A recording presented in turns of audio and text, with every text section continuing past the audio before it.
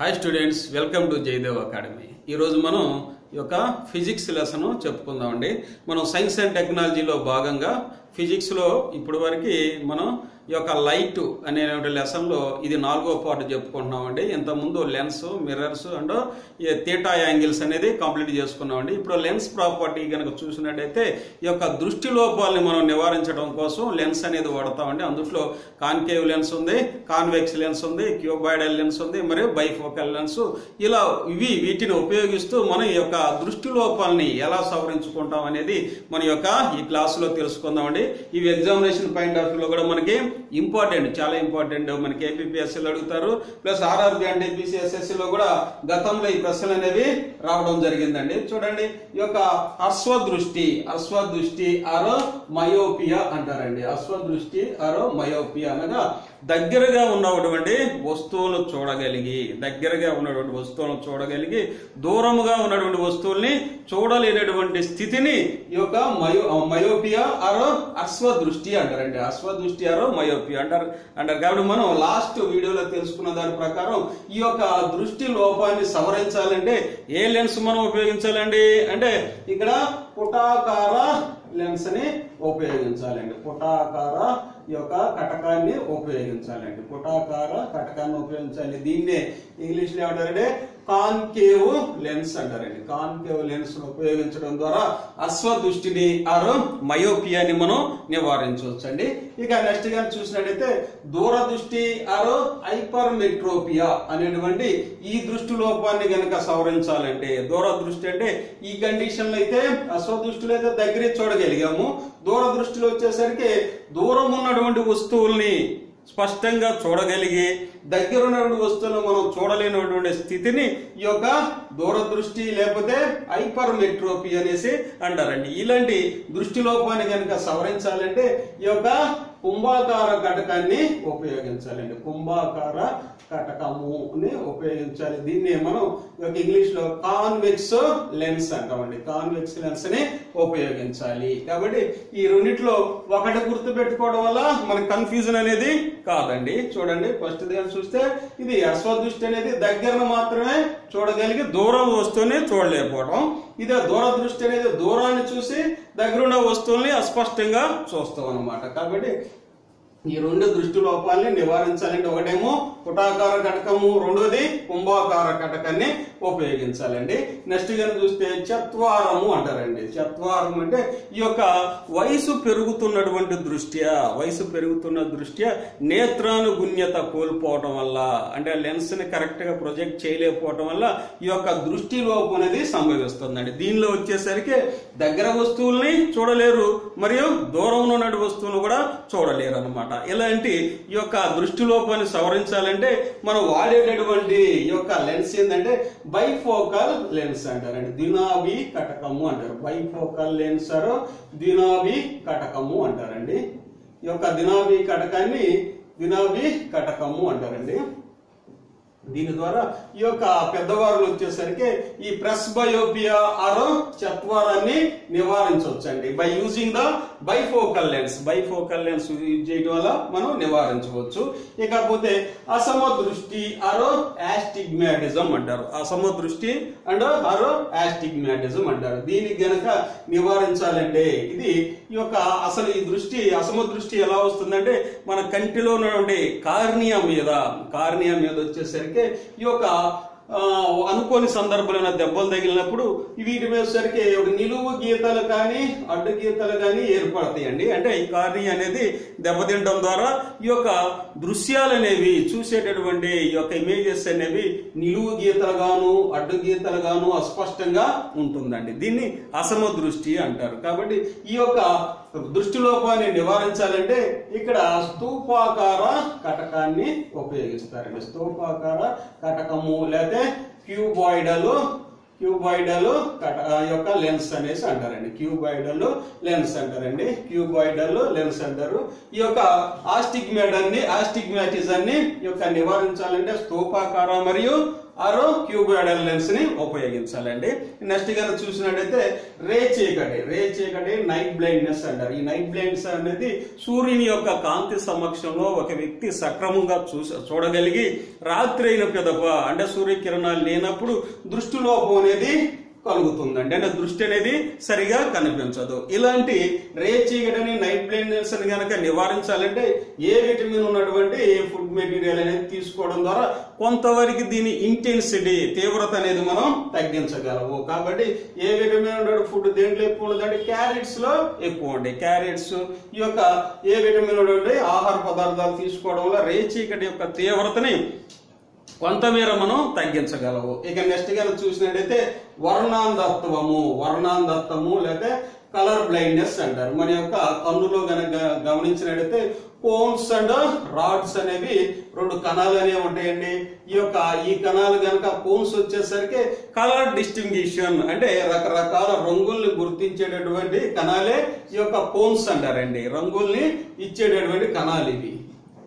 ఈ రాడ్స్ కనుక చూసినట్టయితే ఇవి ఈ యొక్క కాంతిని తీసుకునేటటువంటి కణాలు అనమాట కాంతిని బయట ఉన్న కాంతిని మనం గ్రహించి దృష్టిని కలుగు చేయడానికి రాడ్స్ అనేవి ఉపయోగపడతాయి. కోన్స్ అనేవి రకరకాల రంగుల్ని గుర్తించడానికి ఉపయోగపడతాయి. కాబట్టి వర్ణాంధత్వం అనేది ఈ యొక్క గ్రీను రెడ్ ఇలాంటి కలర్స్ని డిఫరెన్స్ అనేది గుర్తించలేదండి. ఇది ఈ యొక్క తల్లిదండ్రుల నుంచి వచ్చినటువంటి జీన్స్లోనే ఈ యొక్క వర్ణాంధత్వము ఆరో కలర్ బ్లైండ్నెస్ అనేది రావడం జరిగింది. తద్వారా వీళ్ళు స్పష్టంగా గ్రీను రెడ్కి ఉన్నటువంటి డిఫరెన్స్ భేదాన్ని గుర్తించలేకపోవడమే వర్ణాంధత్వం అంటారు. దీన్ని జీవితంలో దీని ఇంటెన్సిటీ కనీసం వన్ పర్సెంట్ కూడా మనం సవరించలేము వన్ పర్సెంట్ కూడా మనం సవరించలేము కాబట్టి మన గతంలో బిట్ ఏమని వచ్చిందంటే ఈ క్రింది పేర్కొన్న దృష్టి లోపంలో మనం సవరించలేనటువంటి సవరించలేనటువంటి దృష్టి లోపం ఏది అని వచ్చిందండి. అందులో వర్ణాంధత్వం అనేది వచ్చిందండి. కలర్ బ్లైండ్నెస్ అనేది ఇన్హెరిటెన్స్గా వచ్చింది అనువంశికతగా వచ్చింది.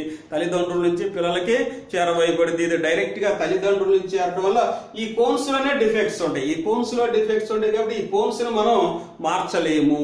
మార్చలేము కాబట్టి ఇది జీవితాంతం కొనసాగేటటువంటి ఈ యొక్క వర్ణాంధత్వము గ్రీన్ రెడ్ అని ఇవి మన డిఫరెన్స్ అనేది చేయలేవు. కాబట్టి ఈ యొక్క దృష్టి లోపములు అనేవి మనం నివారించడం కోసం మనం ఈ యొక్క లెన్స్ అనేది వాడతాం. గత వీడియోలో చెప్పుకున్నట్టు ఈ యొక్క ఆప్టోమెట్రీ ఆప్టోమెట్రిస్ట్ అంటారనమాట ఆప్టోమెట్రీ ఆప్టోమెట్రిస్ట్ వీళ్ళందరూ ఈ యొక్క లెన్స్కి సంబంధించినటువంటి ఈ యొక్క స్కిల్డ్ పర్సన్స్. ఇవి మనకి ఎగ్జామ్లో కూడా వచ్చేటటువంటి అవకాశం ఉంది. అందుకనే మనం నాభ్యంతరము ఇది వచ్చేసరికి తగిన నాభ్యంతరం ఉన్నటువంటి లెన్స్ ద్వారా ఉపయోగిస్తా ఉన్న కుంభాకార కటకానికి పాజిటివ్ నాభ్యంతరం ఉండదు అనుకున్నాం. దీనికి ప్లస్ డి అనేది ఉండదని అనుకున్నాం. అదే పుటాకారానికి నెగిటివ్ నాభ్యంతరం ఉండదని చెప్పాము. దీనికి మైనస్ డిగా గుర్తిస్తారనేసి చెప్పాము. ఇవి మా యొక్క తెలుసుకున్నటువంటి దృష్టి లోపాలు. ఇవి ఎగ్జామినేషన్ పాయింట్ ఆఫ్ వ్యూలో ఎప్పుడో ఒకప్పుడు ఈ దృష్టి లోపాల మీద ప్రశ్నలు అనేది రావడం అనేది జరిగిందండి. అయితే ఏ లెన్స్ ఉపయోగించడం వల్ల ఈ యొక్క దృష్టి లోపాన్ని సవరించవచ్చు? లేకపోతే దేన్ని సవరించలేము? ఏ దృష్టి లోపాన్ని మనం సవరించలేము అనేది ప్రశ్నలు అనేది గతంలో రావడం జరిగింది.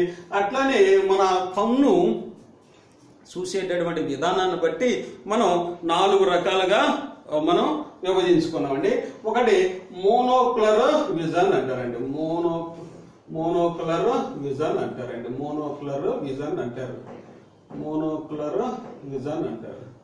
మోనోక్లర్ విజన్ అనేది చూడండి ఈ యొక్క మోనోక్లర్ విజన్ అనే కానీ చూస్తే ఒక కన్నుతోనే ఒక కన్నుతోనే ఈ యొక్క వస్తువులను చూసే విధానాన్ని మనం మోనోక్లర్ విజన్ అంటారండి. ఈ యొక్క కాకి ఊసర వెళ్ళినటువంటి జంతువులు మోనోక్లర్ విజన్ని చూస్తాయి కాకి ఊసర వెళ్ళి అనేవి ఈ యొక్క మోనోక్లర్ విజన్ని చూస్తాయి. అంటే ఇవి వచ్చేసరికి ఒక కన్నుతోనే వస్తువుల్ని గమనిస్తవి చూస్తవి. ఒక కన్నే ఆ వస్తువు మీద కేంద్రీకరిస్తవి. కాబట్టి ఒక కన్నే కేంద్రీకరిస్తుంది. అంటే మోనో అంటే ఒకటి అని. మోనో అంటే ఒకటని ఒక కన్నుతోనే చూసేది ఈ యొక్క మోనోక్యులర్ విజన్ అరు కాకియారో ఓసర వెళ్ళి అంటారు. నెక్స్ట్ వచ్చేసరికి బైనాక్యులర్ విజన్ అంటారండి. బైనాక్యులర్ విజన్ అంటారు. బైనాక్యులర్ దృష్టి అంటారు. ఇది మానవుడిలో క్షీరదాల్లో పక్ష సారీ మానవుడిలో మానవుడిలో క్షీరదాల్లో ఉంటుందండి. మనం గనక ఏదైనా వస్తువునో బుక్కునో గనక ఏదైనా చూడాలంటే రెండు కళ్ళు ఒక వస్తువు మీదే కేంద్రీకరిస్తాము. అలా కేంద్రీకరించడాన్ని రెండు కళ్ళు ఒక వస్తువు మీద కేంద్రీకరించడాన్ని బైనాక్యులర్ విజన్ అరో బైనాక్యులర్ దృష్టి అనేసి అంటారు. ఇక మూడోది కనుక చూస్తే టెలిస్కోపిక్ దృష్టి అంటారు. టెలిస్కోపిక్. టెలిస్కోపిక్ దృష్టి అంటే ఈ యొక్క పక్షులు ఆకాశంలో నుంచి ఎగురుతా కిందనున్నటువంటి ఈ యొక్క తమ ఆహారాలనివి చూస్తా అంటే కోడి పిల్లల్లో లేకపోతే ఈ యొక్క చేపలను లేకపోతే వీటిని ఎంతో ఎత్తు నుంచి ఈ యొక్క భూమి మీద ఉన్నటువంటి వస్తువుల్ని స్పష్టంగా చూసేటటువంటి ఈ యొక్క వీటినే టెలిస్కోపిక్ దృష్టి అంటారు. ఇవి పక్షులు వీటికి బెస్ట్ ఎగ్జాంపుల్గా మనం చెప్పవచ్చు అండి ఇకపోతే నిశాచర దృష్టి అంటారు. నిశాచర దృష్టి. ఆరో నాక్టర్నల్ విజన్ అంటారు. నాక్టర్నల్ విజన్ అంటారు. ఇవి వచ్చేసరికి రాత్రి కూడా సంచరించేటువంటి జీవి నిశాచరాలు వీటికి దృష్టి జ్ఞానం అనేది ఉండదండి. ఇవి అల్ట్రాసోనిక్ సౌండ్స్ని ఉపయోగిస్తూ ధ్వని శబ్దాలను ఉపయోగిస్తూ రాత్రులు ఇవి ప్రయాణిస్తామండి వీటికి బెస్ట్ ఎగ్జాంపుల్గా మనం చెప్తే ఈ యొక్క బ్యాట్స్ అంటే ఈ యొక్క బ్యాట్స్ అండ్ గొడ్ల గోపులు లేకపోతే పిల్లులు లేకపోతే ఇలాంటివన్నీ వచ్చేసరికి నిశాచర దృష్టినివి చూస్తూ ఉంటాయి నిశాచర దృష్టి. రాత్రిపూట సంచరించిన జీవులు రాత్రిపూట ఇవి ఈ దృష్టితో ఇవి సంచరిస్తా ఉంటాయి కాబట్టి మనకి బెస్ట్ ఎగ్జాంపుల్గా చూసినట్టయితే ఈ యొక్క గుడ్ల గోపి పిల్లి అడవి జంతువులుగా మనం చెప్పుకోవచ్చు అండి కాబట్టి ఈ నాలుగు విజన్స్ అనేవి మనకి ఎగ్జామ్లో ఇంపార్టెంట్ వీటితో పాటు ఇవి కూడా ఇంపార్టెంట్ కాబట్టి మనం ఈ యొక్క లెసన్ వీటిని గురించి తెలియజేసుకున్నాం. కాబట్టి నెక్స్ట్ ఇక నెక్స్ట్ కానీ చూసినట్లయితే మనం ఈ యొక్క లెన్స్ ప్రాపర్టీస్ను ఉపయోగించుకొని కటకముల యొక్క ప్రాపర్టీస్ను మిర్రర్స్ యొక్క ప్రాపర్టీస్ను ఉపయోగించుకొని మనం నిత్య జీవితంలో అనేక రకాలైనటువంటి డివైసెస్ అనేటిని కనుగొన్నామండి. వాటి యొక్క ఇంపార్టెన్స్ వాటి యొక్క ప్రాముఖ్యతను బట్టి మనకి ఎగ్జామ్లో ఈ ప్రశ్నలు అనేవి రావడం జరిగింది. పోయినసారి అయితే పెరిస్కోప్ గురించి అడగడం జరిగిందండి. పెరిస్కోప్ అనేది మనకు తెలుసండి ఇది జడ్డాకారంలో నిర్మాణము. దీనిలో రెండు యొక్క లెన్సెస్ అనేవి వాడతారండి. జడ్డాకారంలో నిర్మాణం ఇది పెరిస్కోప్. ఇది చాలా ఇంపార్టెంట్ అండి. ఎగ్జామ్లో అడిగేటటువంటి అవకాశం అయితే ఉందండి. చూడండి ఈ యొక్క పెరిస్కోప్ ఇలా ఉంటుందండి? ఈ యొక్క అబ్జర్వర్ ఇలా పరిశీలించేటప్పుడు ఈ యొక్క వస్తువు అనేది ఇక్కడ ఉంటుందండి. సపోజ్ ఇది క్యాండిల్ అనుకోండి. ఈ క్యాండిల్ కనుక ఇలా పరిశీలించినప్పుడు ఇది ఈ యొక్క అబ్జర్వర్కి కనపడం జెండాకారంలో ఉంటుంది. దీని యొక్క ఉపయోగం ఏంటంటే మెయిన్గా వచ్చేటప్పుడు యుద్ధ సమయంలో యుద్ధ సమయంలో ఉన్నటువంటి ఈ యొక్క సైనికులు ట్రెంచెస్ కందకాల్లో ఉండి ఈ యొక్క పెరిస్కోప్స్ ద్వారా శత్రువుల యొక్క కదలికను గమనిస్తారు.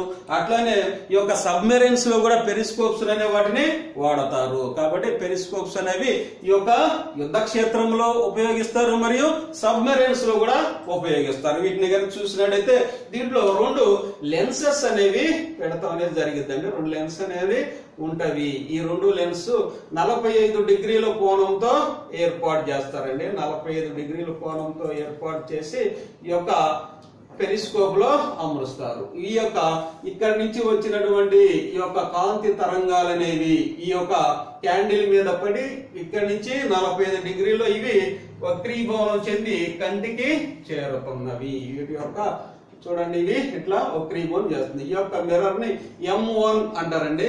ఇది ఎం టూ నెక్స్ట్ వన్ ఇవి వీటి మధ్య యాంగిల్ వచ్చేసరికి forty five degrees forty five డిగ్రీస్తో అమరుస్తారు. ఈ ఈ పెరిస్కోప్ అనేది చాలా ఇంపార్టెంట్. ప్రతి అంశం దీంట్లో ఇంపార్టెంట్ అండి ఈ యొక్క రెండు mirrors M one M two మధ్య ఉన్నటువంటి యాంగిల్ ఎంత అంటే ఫార్టీ ఫైవ్ డిగ్రీస్ అని చెప్పొచ్చు అండి ఇలా అడుగుతారు రెండు. ఈ యొక్క మిరర్స్ అనేవి ఉపయోగిస్తారు. ఇది జడాకారంలో ఉంటుంది. ఈ యొక్క వస్తువుని ఇక్కడ చూసి ఇవి ఈ యొక్క శత్రువుల యొక్క ట్రెన్సెస్లో కూర్చొని చూసి ఈ యొక్క శత్రువుల కదలికల్ని కదలికల్ని గమనించడానికి ఈ పెరిస్కోప్ అనేది ఉపయోగపడుతుందండి. గతంలో దీని మీద ప్రశ్నలు అనేది రావడం జరిగిందండి. ఇకపోతే స్టీరియోస్కోప్ స్టీరియోస్కోప్ అనేది ఈ యొక్క త్రీ పద్ధతిలో ఉన్నటువంటి ఫోటోల్ని చూడడానికి ఉపయోగించే సాధనమే ఈ యొక్క స్టీరియోస్కోప్ అంటారండి. త్రీ పద్ధతిలో ఉన్నటువంటి ఫోటోలను మనం చూసటకు ఉపయోగించేదే స్టీరియో స్టీరియోస్కోప్ అంటారు. ఇక నెక్స్ట్ వన్ చూస్తే స్ట్రోబోస్కోప్. స్ట్రోబోస్కోప్ అంటే గమనంలో ఉన్నటువంటి వస్తువులను ఫోటోలు తీయడానికి స్ట్రోబోస్కోప్ అనేది వాడతారండి. నిశ్చలముగా నిశ్చలంలో కనపడుతుందండి ఈ యొక్క స్ట్రోబోస్కోప్ అనేది. అది ఫోటోలు తీయడానికి మనకి సౌకర్యవంతంగా ఉంటుంది. ఇదైతే త్రీ డి ఫోటోలు చూస్తానికి ఇదైతే గమనంలో ఉన్న వస్తువుల యొక్క ఫోటోలు తీయడానికి స్ట్రోబోస్కోప్ ఉపయోగిస్తారు. అయితే సెక్స్టెండ్ సెక్స్టెండ్ అనేది ఈ రకమైనటువంటి డివైస్ వచ్చేసరికి ఇది ట్రిగనోమెట్రీ త్రికోణమితిలో ఉన్నటువంటి సెక్ అనేటువంటి సూత్రం ఆధారంగా ఇది పనిచేస్తుందండి.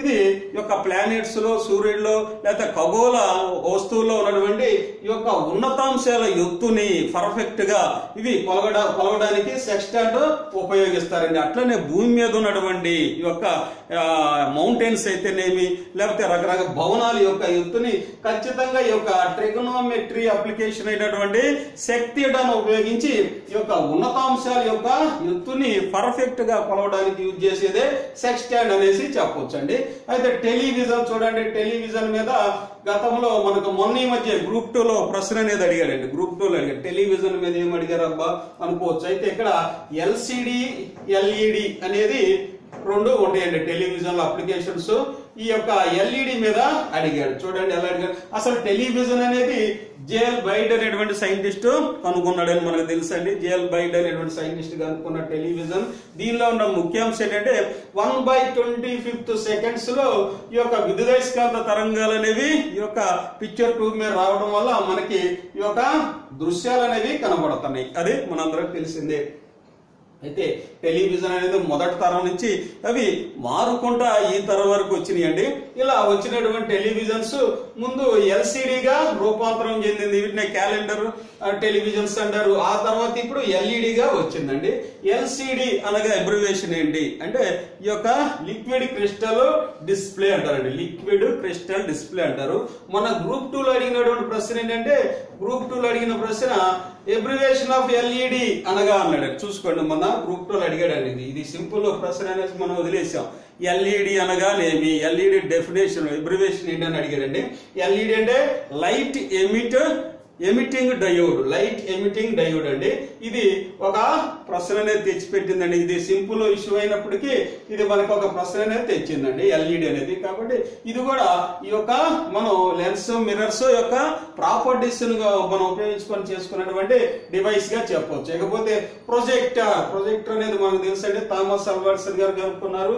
ఒక లైవ్ పిక్చర్స్ మనం సినిమా చూస్తున్నామంటే ఇది one by sixteen one by sixteen సెకండ్లో ఈ యొక్క ఫ్రేమ్స్ అనేవి తిరుగుతాయండి ఒక సెకండ్లో పదహారు ఫ్రేమ్స్ కనుక తిరిగితే ఒక సెకండ్లో పదహారు ఫ్రేమ్స్ కనుక రొటేట్ చేయగలిగితే అది ఆ పిక్చర్ అనేది లైవ్లోకి వస్తుందండి. మనం సినిమా లైవ్ చూస్తానికి కారణం ఏంటంటే మన యొక్క కన్ను గుర్తించలేనంత విధంగా ఈ ఫ్రేమ్స్ అనేవి తిరుగుతాయండి. వన్ బై సిక్స్టీన్ కాలంలో తిరుగుతాయండి. ఇక నెక్స్ట్గా చూసినట్టయితే కెమెరా కెమెరా వచ్చేసరికి ఈ కెమెరాను కనుగొన్నటువంటి సైంటిస్ట్ ఎవరంటే జోసెఫ్ నయఫ్సి అనే సైంటిస్ట్ కనుగొన్నాడండి. ఈ యొక్క కెమెరాని జోసెఫ్ నయఫ్సి అనే సైంటిస్ట్ కనుగొన్నాడు. ఈ యొక్క కెమెరా అప్లికేషన్స్ అనేవి మనం ప్రతినిత్యం చూస్తూనే ఉన్నామండి.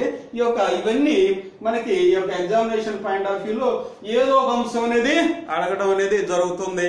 కాబట్టి ఇవన్నీ మనం గుర్తు పెట్టుకోవడం వల్ల మనకి ఎగ్జామినేషన్ పాయింట్ ఆఫ్ వ్యూలో చాలా ఇంపార్టెంట్గా మనం చెప్పొచ్చండి. ఈ యొక్క దృష్టి లోపంలోనైతేనేమి లేకపోతే మోనోక్లర్ విజన్స్ అయితేనేమి ఈ యొక్క డివైసెస్ అయితేమి వీటిలో మనకి ప్రశ్న అనేది రావడానికి అవకాశం అనేది ఉన్నది. రావడానికి అవకాశం అనేది ఉన్నది. కాబట్టి ఈ యొక్క వీడియోని జాగ్రత్తగా పరిశీలన పరిశీలించండి. వీలైతే నోట్ చేసుకోండి మీ ఫ్రెండ్స్కి షేర్ చేయండి. ఇంకా మీరు సబ్స్క్రైబ్ కానీ చేయకపోతే సబ్స్క్రైబ్ చేసుకోండి. ప్లస్ బెల్ బటన్ క్లిక్ చేయడం వల్ల మీకు ఇమీడియట్ అప్డేట్స్ అనేవి మీ యొక్క సెల్కి రావడం లేకపోతే మీ యొక్క కంప్యూటర్ రావడం అనేది జరుగుతుంది. కాబట్టి ఇమీడియట్గా సబ్స్క్రైబ్ చేసుకోండి. ఇంతవరకు మన వీడియోని పరిశీలించినందుకు మీకు మరొకసారి ధన్యవాదాలు తెలియజేస్తున్నాం. థ్యాంక్ యూ అనండి